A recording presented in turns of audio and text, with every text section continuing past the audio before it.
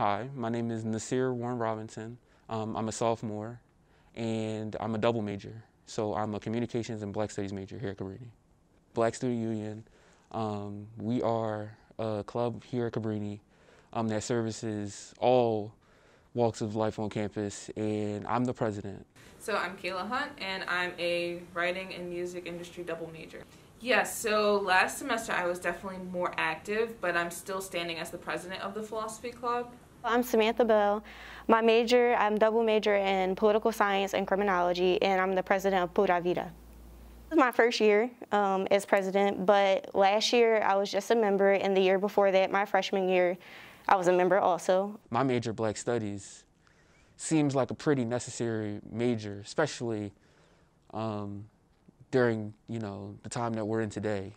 They might have cut the wrong things, or they might have you know taken away, because you're able to see things in a perspective that wasn't necessarily shown to you previously. When I first got here, the BSU represented um, the ability to be myself, 100% me. So philosophy teaches a lot of things. It teaches temperance. It teaches um, like moderation, life shouldn't be excessive in either way. It shouldn't be too crazy. And also, it just teaches you how to manage your emotions and interact with the world. You know what I mean? Like uh, Stoicism, for example. A good Stoic, if they're in a um, traffic jam, they're going to not have road rage. They're not going to be angry. They're going to understand that this is something that happens and that what they can do is they can manage their emotions. They can't change the world, they can't change the traffic jam, but they can control themselves. I would say individuals aren't educated in Spanish culture. I feel as though anybody can join this club and feel as though they're a part of a family, and that's more so the concept of Pura Vida. To have a group of people and feel as though they are interconnected with a bond between each other um, basically being there for each other more so. It's not about if you're Spanish, if you're black, if you're white, color doesn't matter. It's more so being a support system for each other.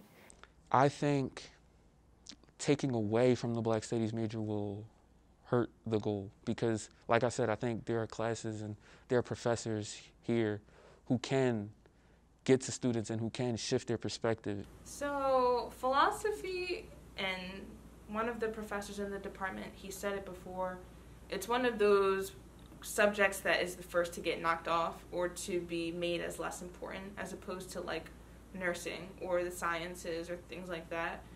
I'd be a bit concerned just because I wouldn't want them to stop funding the department. I wouldn't want them to put it on the back burner and sort of let others step in the spotlight because it's still important. It's still beneficial to the various students that are on campus. For example, let's say that we graduate and there's different changes within the university that we're not aware of. And further down the line, we plan on having children and sending them to Cabrini.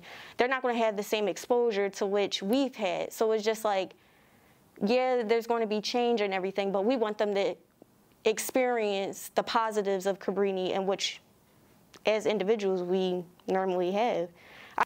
Like I said, if I want to learn Spanish, I want to learn just Spanish. I don't want to learn French, Japanese, or anything, any other cultural language.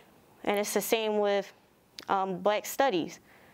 I want to learn about African Americans and what they go through, not what any other racial group or minority group is going through.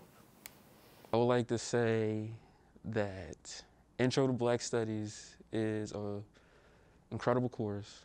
I recommend that everyone watching this interview takes it and, you know, they really attempt to, you know, shift their perspective. That class, it, it I like, and this isn't like like hyperbole or anything. Like it completely changed my perspective on life. Like it completely changed the way I look at life and the way I approach, you know, life in general. And so, you know, I just I just worry that you know, they might have that they might mess around and cut something that could be that for somebody else here on this campus because I truly do think that black studies is that important and that these classes are that necessary to you know the mind and you know the way we look at the world